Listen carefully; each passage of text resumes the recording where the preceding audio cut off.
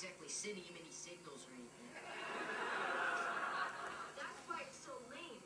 I mean, here they are, these two total outcasts. They have no one in the world except each other, and they're playing these stupid junior high games. I mean, I just don't buy it.